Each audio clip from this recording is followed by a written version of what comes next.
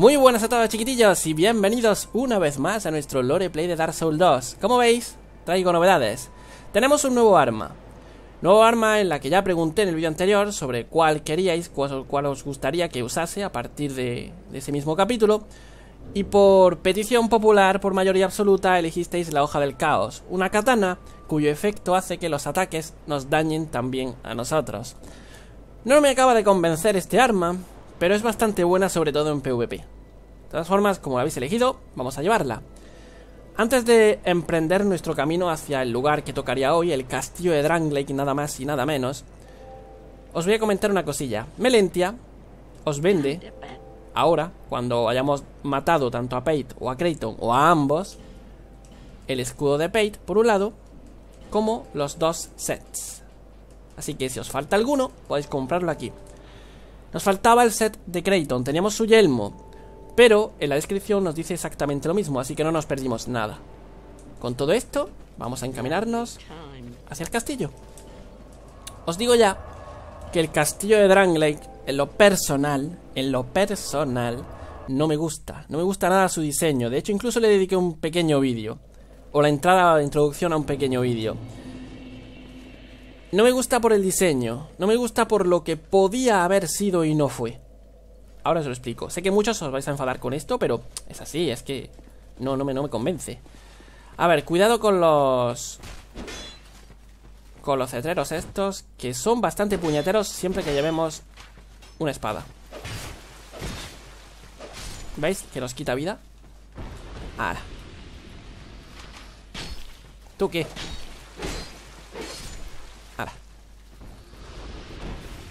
Luego aquí vamos a tener que abusar bastante de gemas de vida. Pero bueno, la katana es muy buena. Esta es la zona de... Podríamos llamar aproximación al castillo. Qué poco me gustan los cetreros. Ahí está.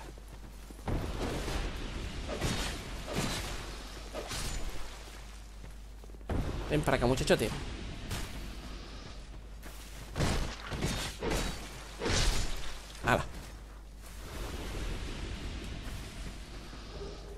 Bueno, nada nuevo. Desde aquí se ve... Desde aquí tenemos una bonita vista. Vale. Pues vamos a continuar. Esta zona, ahora mismo esta, que estáis viendo, eh, la veo algo bastante, bastante simple. Considero que la aproximación al castillo de Dranglake debería ser mucho mejor o estar ser algo más interesante, más cargada de detalles, no simplemente la continuación de los bosques sombríos. ¿Tú qué? Eh, eh, eh, eh, eh, eh, que, que, que, que, que, espera, espera, espera, espera. Que nos colamos con tanta gente aquí. Ay. Hay que tener un cuidado ahora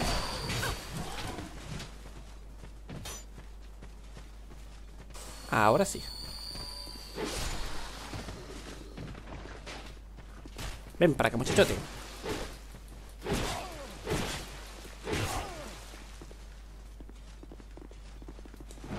Ajá. Bien. bueno, pues continuamos. Vamos a abusar mucho de las gemas de vida. Hacha, media luna, mata dragones y escudo de halcón este, la hacha esta no me suena. No me suena, ¿eh? realmente.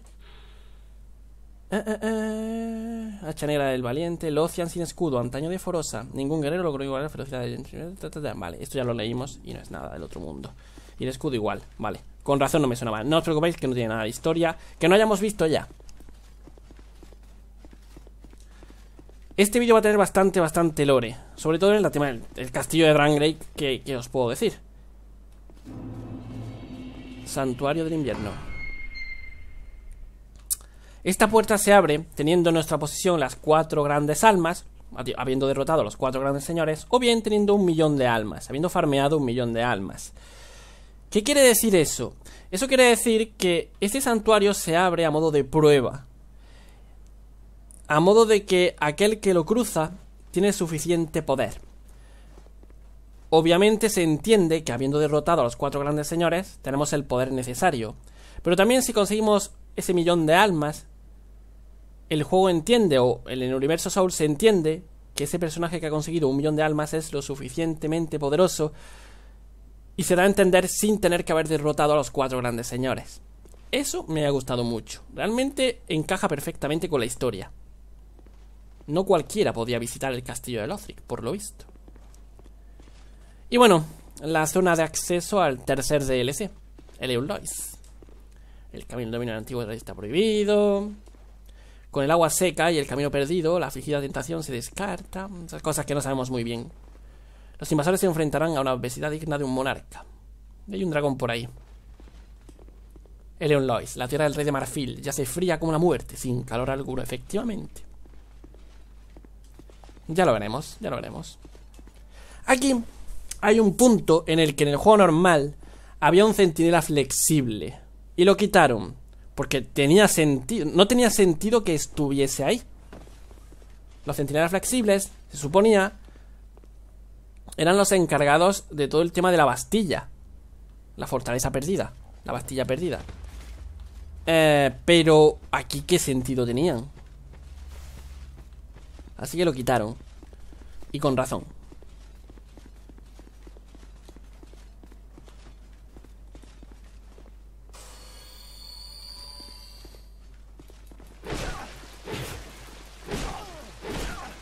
Ay, ese último golpe. Sigue habiendo... Oh, bendición divina. Sigue habiendo fantasmitas de estos.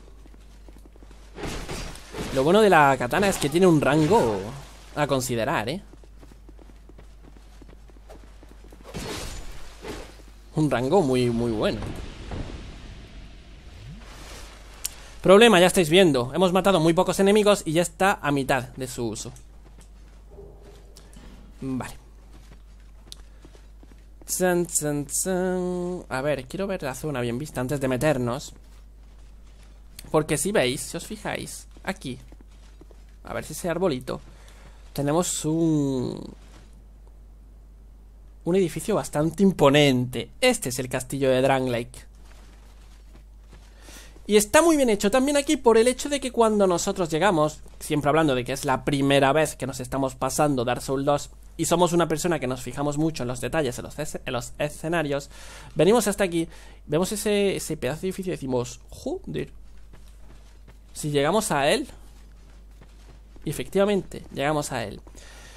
Y aquí viene el gran, gran, gran, gran fallo de diseño que yo siempre, del que yo siempre me he estado quejando. Más incluso que el tema del pico terrenal que da paso al, a la torre, al torreón de hierro. Aquí fue donde yo me di cuenta que Dark Souls 2 cojeaba mucho, la primera vez que vine aquí. Estamos en un sitio que está nublado, que muy bien. Vamos a meternos por un túnel bastante pequeño.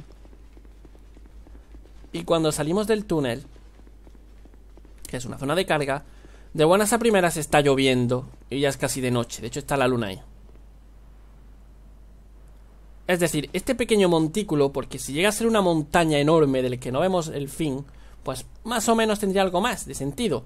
Pero es un pequeño montículo con una zona de paso, un pequeño túnel, y que incluso, no sé si incluso se podrá ver el final de, de...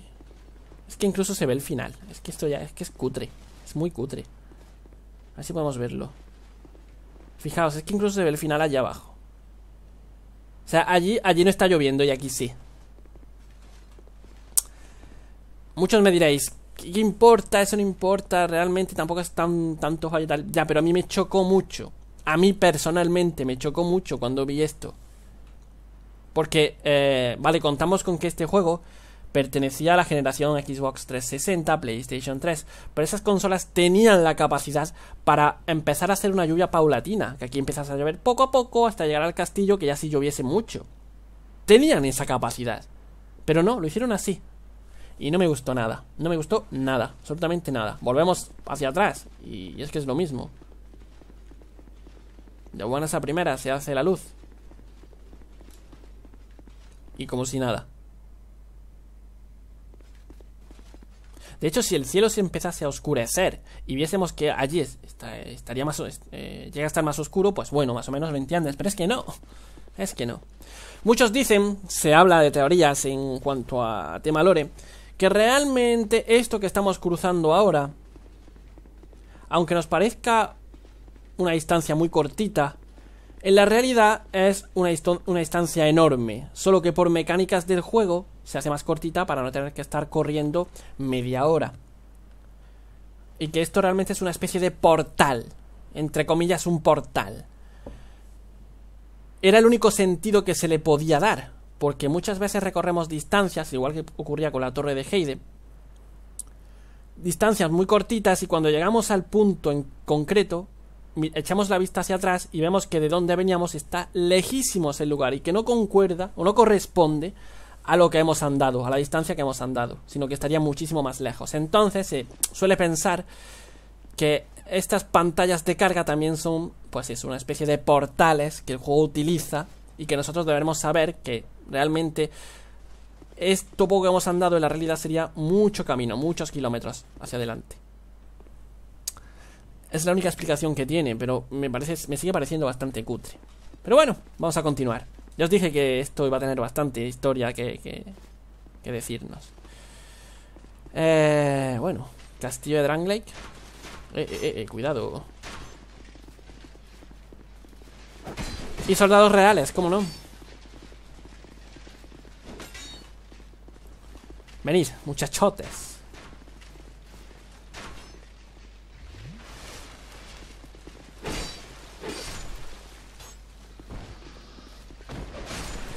Otro menos. Ahí va. Qué típico ataque más de katana, ¿eh? Este.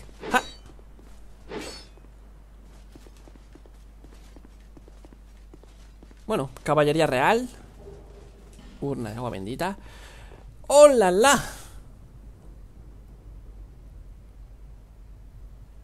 Mirad, la, la realidad es que a mí siempre... Aquí tengo una sensación agridulce. Muy agridulce. Porque como está como está planteado el castillo de Dranglake, sobre todo la entrada, esa entrada de ahí, eh, me encanta. Me encanta realmente. Cómo está planteado con las antorchas, ese camino que sube hasta el castillo.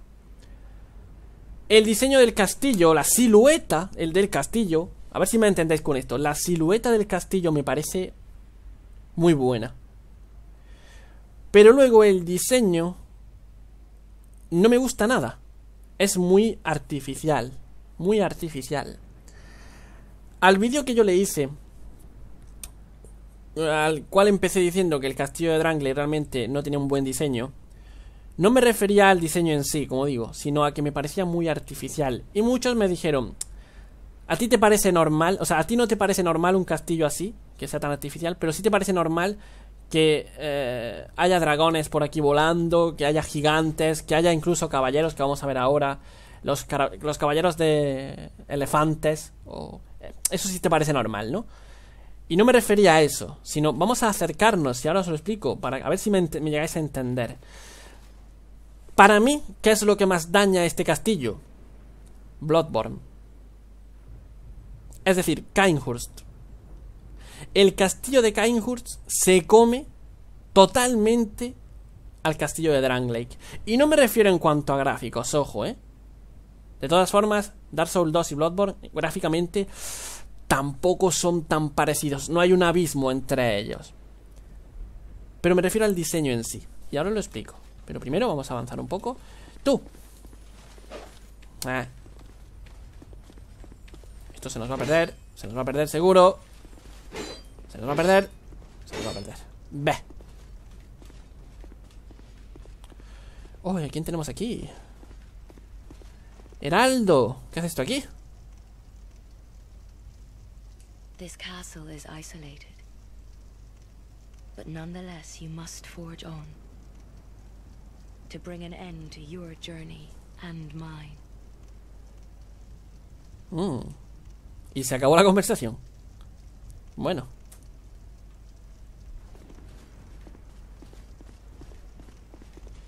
Ahora toca una cosita que no sé yo si hacerlo así. Porque aquí, como veis... ¡Ajá!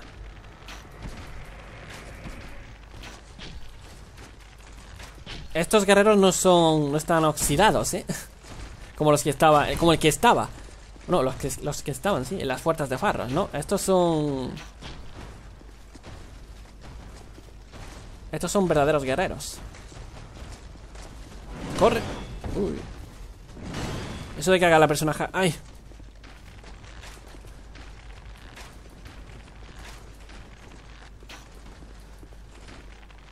Tenemos flechas de sobra. Bueno, de sobra no tanto, pero... Me encanta. Y cuando mueren, el sonido que hacen. Escuchad.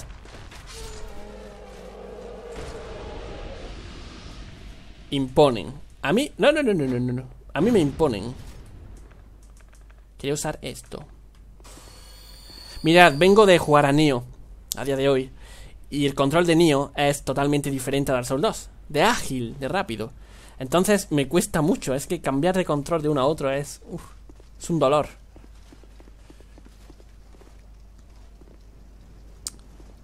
Bueno, lo que quería decir. Aquí creo que me invadía alguien. Debería invadirme alguien.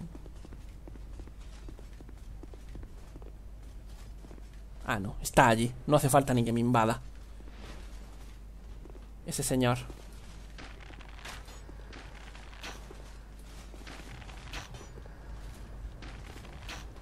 Bueno.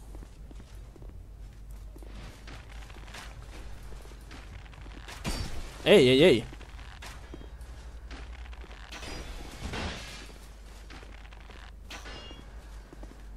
Las flechas ahí. Ey, ey, ey, espérate, espérate. No, no, no, no, no. A mí no me la das.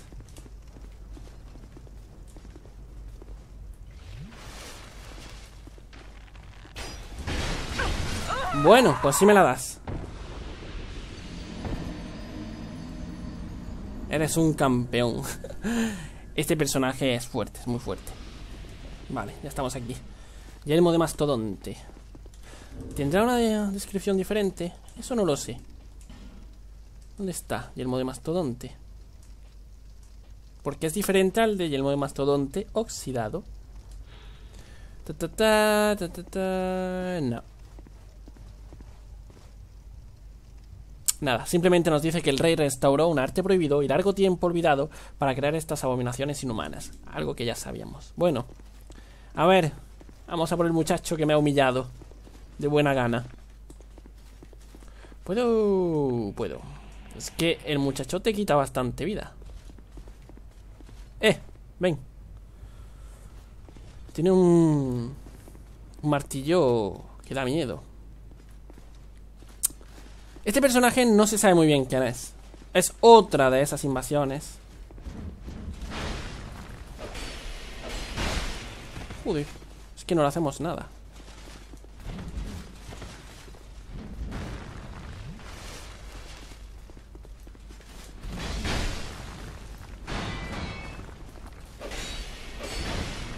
Corre. Ahí está.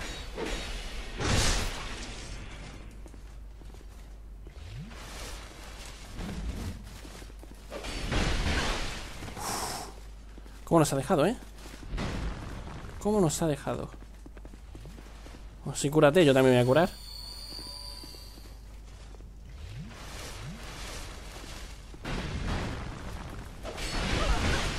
Es que no, no, no, no, no podemos contra él así, no podemos ni de coña.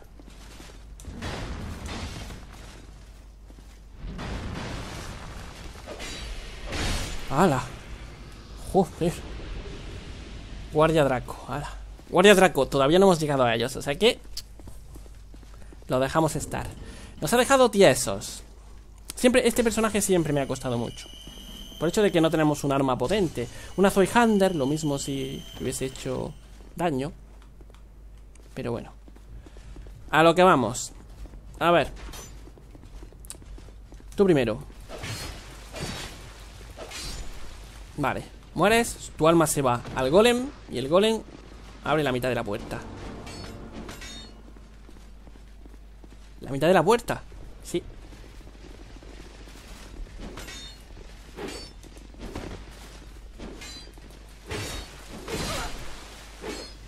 Vale. Vale. Muy bien.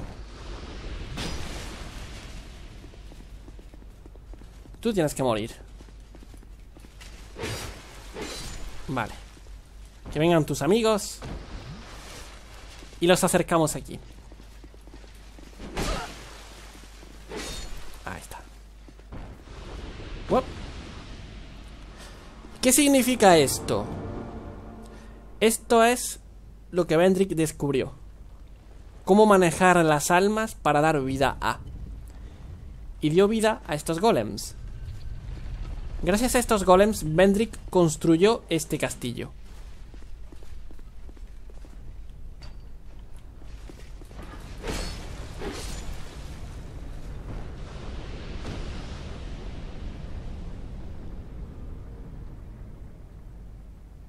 Mola. Ya está abierto. Bien. Bueno, Ahora os explico entonces mi punto de vista sobre el castillo. Gran combustión, nada que nos diga... Y ya empezamos a ver, soldados decían, algunos son piedra, otros no.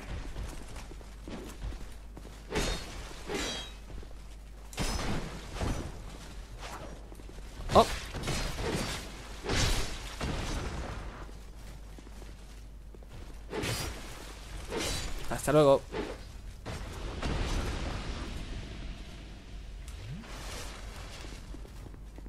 Creo que por aquí había otro. Otros dos.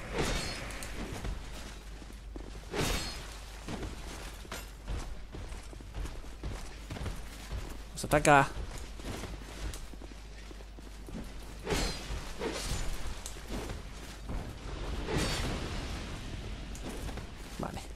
Hasta luego.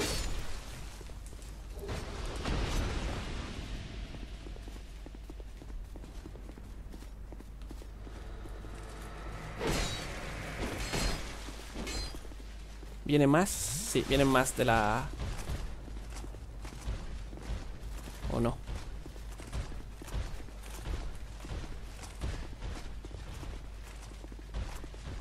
Has esperado que salga tu amigo, ¿eh, amigo?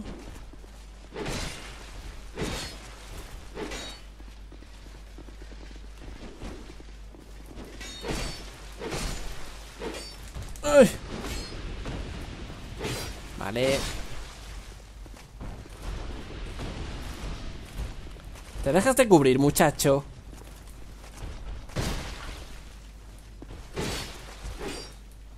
Ahora.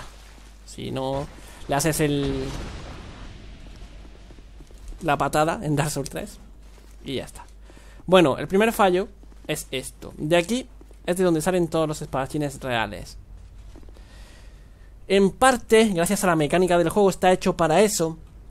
Son infinitos pero lo hace totalmente irreal, porque son infinitos.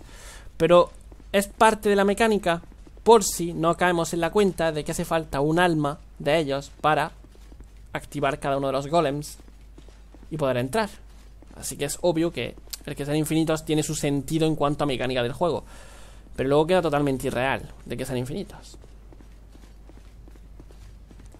Bueno, de allí venimos. ¿Veis? Está interesante, ¿no? Está bien el diseño. Pero ahora fijaos en el diseño del castillo. Un castillo que ha sido construido por golems. La historia del castillo la veremos ahora. Pero para mí, este castillo es totalmente artificial. Sobre todo si lo comparamos con el castillo de Bloodborne. ¿Por qué? Por el hecho de que el castillo de Bloodborne, de Cainhurst, se nota que ha sido construido con piedra que ha sido construido más o menos como esto que estáis viendo aquí. Baldosas de piedra irregulares, ¿vale? Algo creíble. Sin embargo, el castillo parece hecho y está perfecto, fijaos. Fijaos. Totalmente líneas rectas, totalmente todo hecho... Es artificial, queda artificial. Y si ha sido hecho por golems, ¿cómo han hecho estas marquesinas esos golems? Es algo que a mí a mí, por eso digo que personalmente me parece totalmente irreal el castillo. Y mucha gente se enfada por eso, y lo entiendo, entiendo que cada uno tenga su gusto y hay personas que le encante el castillo de Drangleic que sea el mejor castillo que haya visto en su vida. Para mí, cuando lo comparo, aunque la comparación sea odiosa, pero cuando lo comparo con Cainhurst, el castillo de Drangleic se queda a la altura de, de, de, no sabría deciros, pero muy bajo, muy bajo. Y es eso, que lo veo muy artificial. El diseño me parece muy bueno. El diseño. Pero no me cuadra, no me encaja en un universo medieval, fantástico medieval, de Dark Souls. No me encaja. Y sobre todo, menos cuando me dicen que ha sido construido por golems. Es que no. Ahí me dicen la magia de ciertos que los magos levantaron este castillo obedeciendo a Vendrick y tal. Perfecto. Entonces sí me lo creo. Pero un castillo hecho por golems... Pues qué refinados eran los golems, ¿no? Más refinados que los propios humanos. No, no, no, no, no. Esto no... A mí no me cuadra y lo siento, pero no. Lo veo demasiado artificial. Demasiado castillo Disney. ¿Vale? Así sí me entendéis. Es como un castillo Disney para mí. Un castillo de... Que lo mismo te sale a Vendrick por aquí que te sale Goofy. O Donald. Es que, es que no me gusta por eso. Solo le falta los cohetes de fondo y, en fin. que no me gusta. Pero bueno, el interior luego cambia un poco y está más interesante. Y tenemos un personajillo allí. El castillo de Drangleic, construido por Vendrick. Y fue construido cuando, cuando llegaron de su aventurilla después de, masacrar a los gigantes. Ya recordamos esa historia del bosque de los gigantes caídos cuando, en un principio, Vendrick se embarcó a la tierra de los gigantes a luchar contra ellos. Cuando vino, se trajo ese conocimiento, el conocimiento de dar vida, gracias a las almas, y dio vida a los golems. Golems que utilizó, en este caso, para empezar a erigir este castillo. Pero el pobre Vendrick era simplemente un monigote, un muñeco, una marioneta. ¿De quién? Pues Wellagner nos va a contar su historia. Wellagner, el canciller, del que ya solo queda su fantasma. Vamos a hablar con él, tiene mucho que contarnos.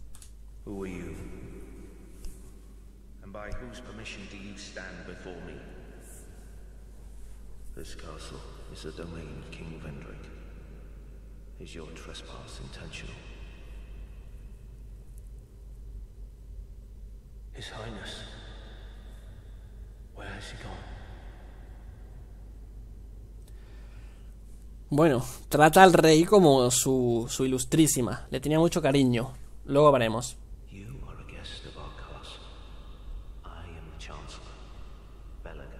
Velager. Yo le llamo Wellagner. Eh, Unfortunately, His Highness is absent. My lord, the king has... Hmm. The queen has taken him. Ahí, ahí está su historia. Bueno, Velagner. O Velagner. Mejor, ¿vale? Vamos a pronunciar bien, ya que nos lo ha dicho. Eh, en este pequeño diálogo ya nos ha dicho todo. El rey... Mm -mm, la reina lo tiene... Mm hmm. My lord made magnificent findings on souls. An accomplishment for the ages. He vanquished four great ones and built this kingdom upon their souls. Our king has watched over this land since ages long, long ago. King Vendrick, we must fight back, or the giants will take Drangleic. Ahora mismo está teniendo flashes de lo que pasó en el pasado. eh, Velagner o Velagner o como queráis llamarlo, fue junto a Vendrick a la batalla contra los gigantes. The king had a dear queen, a woman of unparalleled beauty. Sí. Long ago, the queen came to us, alone, from a faraway land. She warned our lord of the looming threat across the seas, of the giants. The king crossed the ocean and defeated the giants with the queen at his side.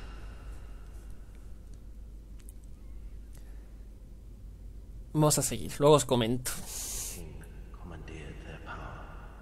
created the golems. With the golems, the king created this castle to celebrate victory and to show his love, his gratitude to his queen. ya tenéis el por qué Bendrick construyó este castillo. Este castillo no, es, no fue construido antes, sino después de la derrota de los gigantes. Bendrick no parecía ser no necesitar castillo, pero a su reina le, le, le urgía el hecho de tener un castillo. No se sabe muy bien por qué, por ahora. The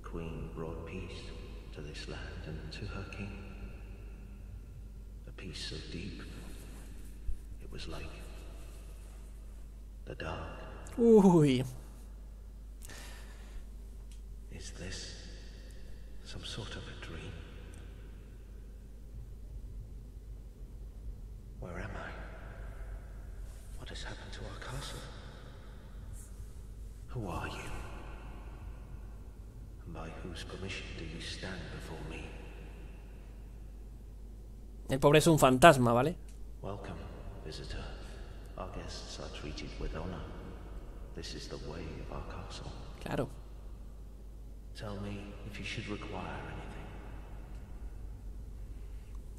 Bueno, Belager. Yo le llamo Welagner, vale, Belager. Mejor así, ¿no? Belager. Bueno, Flamígera y Lucerne. Eh, eh, eh, esto me lo voy a comprar ya. Total. De aquí voy a comprar. Uh, uy, lo que voy a gastar aquí de dinero. Eh,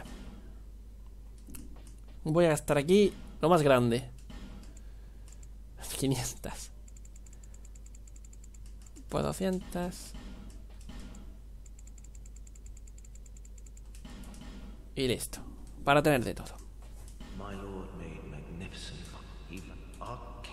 Nada nuevo, ¿no? Vale. Vale, la historia entonces queda así. Belager era el canciller del rey. Canciller y por lo visto amigo íntimo. Esto antes de que llegase la reina. Era su confidente, ¿vale? La persona en la que más confiaba el rey Bendrick. Y reinaba de buena forma. Pero un día se presentó esta reina. Que venía de una tierra lejana, pero no se sabe de dónde. El rey cayó ante ella, quiero decir, se enamoró de ella. Entonces la reina empezó a comerle un poco la cabeza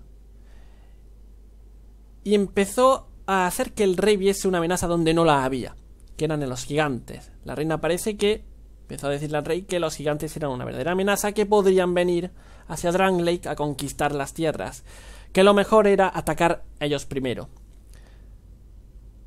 Así que al final el rey accedió y se dirigió junto a su reina y junto a Belager a por los gigantes.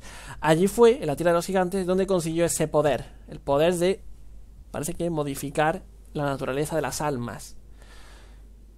Así que aquí vino el rey ya, después de la batalla, de la victoria contra los gigantes, con ese nuevo conocimiento, dándole vida a los golems y junto a los golems construyendo este castillo por petición de la reina. La reina tenía un objetivo claro y no lo estaba haciendo todo por el bien del rey ni sobre todo por el rey del pueblo, por el, por el, por el bien del pueblo, nah. Lo hacía por un, un interés propio, que veremos también. Belager no nos dice nada, pero eh, él fue uno de los pocos que vio que la reina, desde un primer momento, no era tan buena como parecía ser.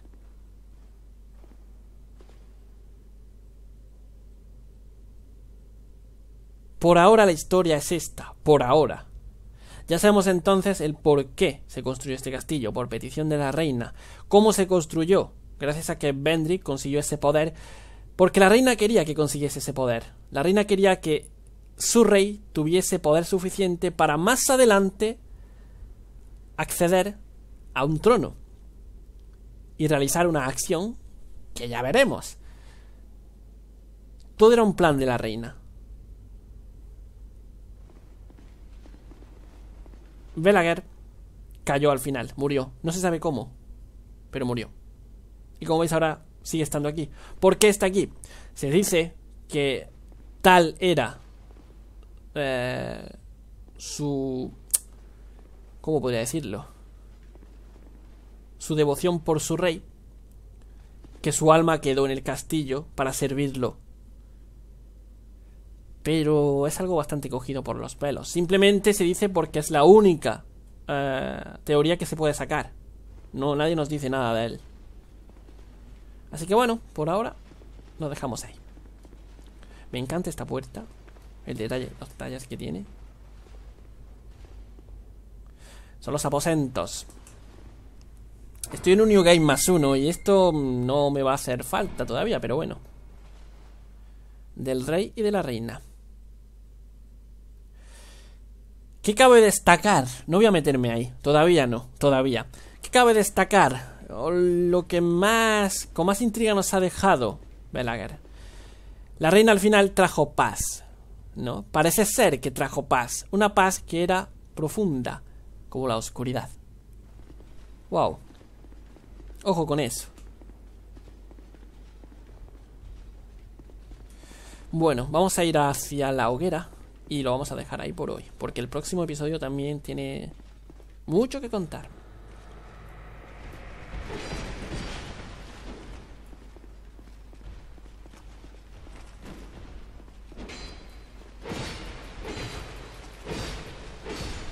Vale.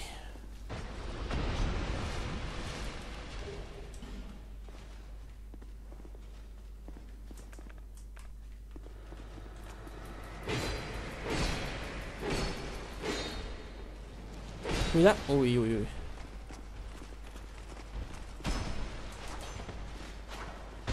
Hasta luego.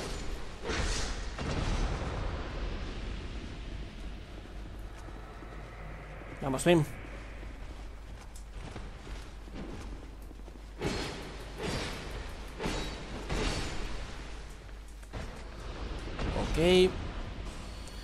Esas puertas que nunca se abrieron.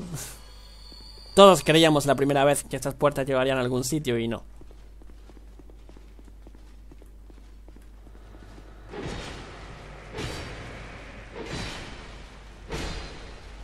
¡Ay! Ah. Creo que el set de Xian, si lo leímos, ¿no? De todas formas, por si acaso. Vale.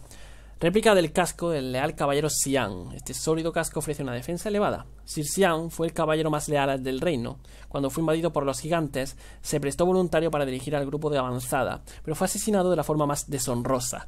El rey mandó hacer réplicas del equipo de Xian y se las entregó a los caballeros, a, a caballeros prometedores, pero estos se enloquecieron por completo poco después de vestir la armadura. Eran la élite, es decir, se la daban a los que eran... Vale a los que eran aptos para ello. ¿Y cómo pasaban esa prueba? Lo veremos en el siguiente vídeo.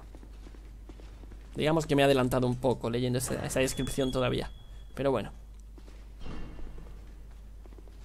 Yo bajo ya. Que estos...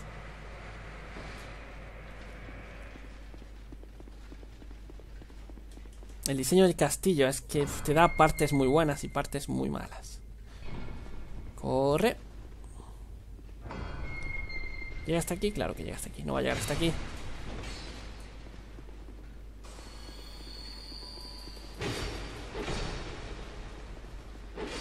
¡Hala! Pues usamos esto. Y dejamos por aquí el capítulo de hoy. Puerta del Rey. Creo que para finalizar, todo ha quedado bastante claro y ya sabemos muy bien dónde nos lleva la historia. Ahora mismo se nos abren tres vías. Por un lado, la reina, que conoceremos en el siguiente vídeo. Por otro lado, Vendrick. ¿Qué pasó con él? Hmm. Y por otro lado, toda su caballería, todo su alrededor a quién usaron para luchar contra los gigantes. Y también veremos un poco más adelante qué fue exactamente ese conocimiento que se trajo Vendrick sobre poder moldear o usar o jugar con el alma. Ya lo veremos. Por ahora, espero que os haya gustado el vídeo. Ya sabemos el, el origen del castillo de Dranglake.